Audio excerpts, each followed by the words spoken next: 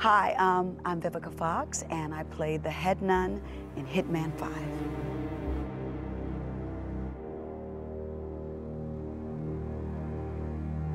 The head nun, she's a bad bitch. I love it. And I was really happy to play her. And, and basically, I um, run a team of assassins, and I've been hired to kill the hitman. So that was real fun to be with my girls and get off a big old yellow bus and go hunt down the hitman. And uh, she, she, she had the girls do a, a lot of the dirty work. So she was kind of like a taskmaster. She put everybody in order, issued out the orders, and if she needed to do the dirty work, she definitely could.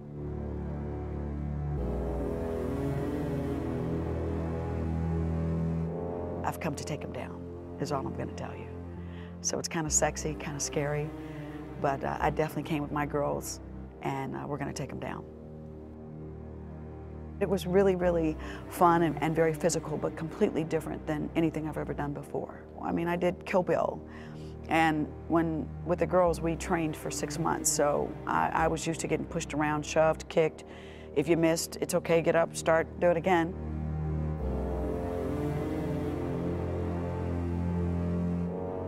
This is one of the first experiences I've ever had uh, being a character in a video game. But it reminded me of making uh, movies because you get in front of green screen. Um, and, and, and, that element I was very familiar with, so it wasn't foreign to me. But uh, this definitely reminded me of making literally a motion picture, and that it's very beautiful, very clear, and, and I think that it's a wonderful aspect that, they, that they've added to the video game.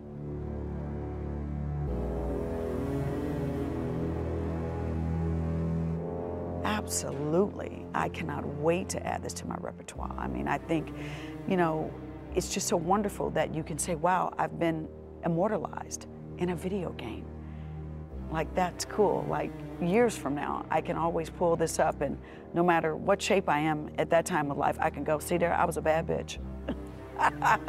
I was a kick butt chick, and I'll forever be here, part of the Hitman series. So, very honored.